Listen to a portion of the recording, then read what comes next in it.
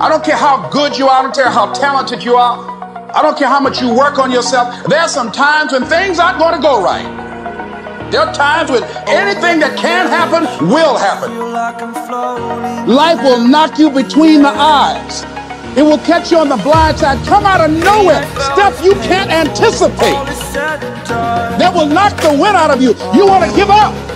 I need you to look at that sickness that's going on in your life right now, whatever it is. I want you to say, I can beat it. I can beat it. I will beat it. I must. I got a family to live for. I ain't through yet. My life ain't over yet.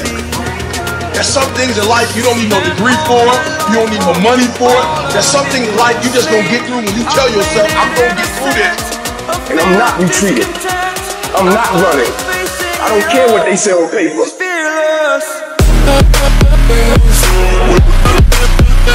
Doesn't matter how slow you're going, as long as you're going, just get started. I have to execute, I have to give it everything I have, like I know there is no tomorrow. There is no tomorrow. You're not going to feel the process all the time. You're not going to see it. Some days you're not going to want to write about it. You're not going to want to talk about it. You're not going to want to think about it. You're going to have migraines thinking about the sacrifices that are required to get to this next level, but just don't stop. You miss the energy. There are no more tomorrows. And you have to live like today is the last day that you have a chance to achieve the things that you want to achieve.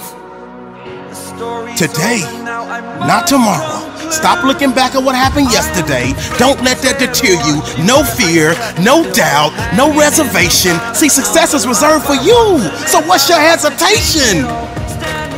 Come on, you gotta stop overthinking. Like you're thinking this thing, you're thinking yourself out of it. And you're negotiating your path out of this obligation, this opportunity, this moment in time where you could really become something, really accomplish something. We've got to get to the place where we have non-negotiables. Like, yo, I'm not I'm not negotiating myself out of this. This is not a conversation I'm available for. I'm not going to keep thinking myself out of destiny, out of purpose, out of connection. I don't have time. I'm completely unavailable. And every single day, I'm living like it's my last. I'm putting it all on the table. I believe that this is your beginning, but this doesn't have to be your end. That just because you are currently here, this is your present circumstances, that life don't have to end for you right now.